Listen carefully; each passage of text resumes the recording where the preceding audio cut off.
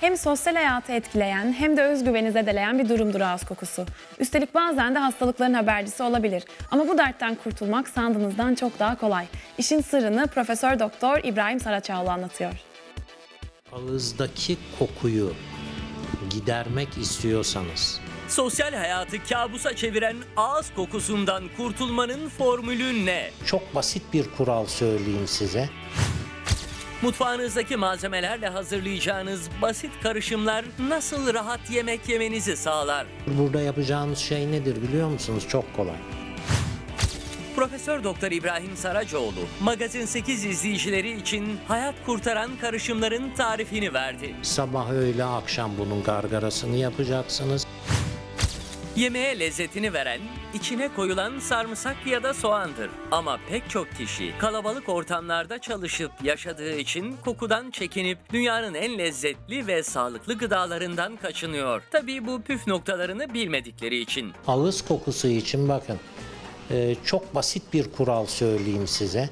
Yemekten kalktınız e, işte sarımsak yediniz veya herhangi bir şey yediniz ağız kokusu yapar. Bu ağızda koku bırakır.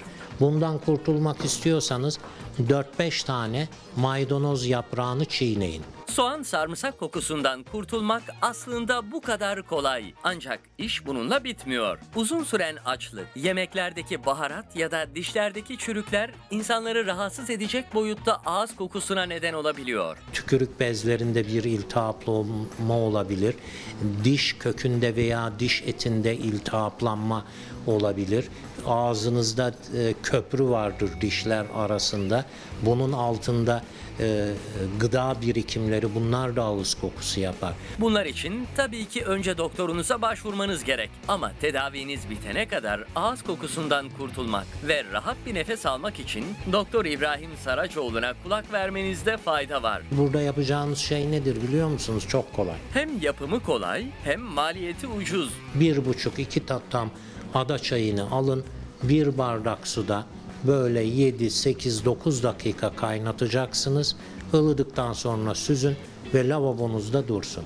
Sabah öğle akşam bunun gargarasını yapacaksınız. Her gün taze hazırlayacaksınız. Kağıt kaleminiz hazırsa Doktor İbrahim Saracoğlu hayat kurtaran bir tüyo daha veriyor. Eğer mide rahatsızlıklarından kaynaklı ağız kokusundan şikayetçiyseniz işte yapmanız gereken. Şu kahvecilerin e, çay bardakları var ya bunun yarım bardak suyun içerisine 5-6 damla lavanta yağı damlatacaksınız. Bildiğimiz 5-6 damla lavanta yağı. Evet bunu karıştıracaksınız ve bir defada içeceksiniz. Yöntemlerin hepsi kolay, maliyetler ucuz. Hatta çoğu evlerde, mutfaklarda bulunan günlük rutinlerde de kullanılan malzemeler. Ağız kokusundan kurtulmaksa bu karışımlarla yalnızca birkaç dakikanızı alacak.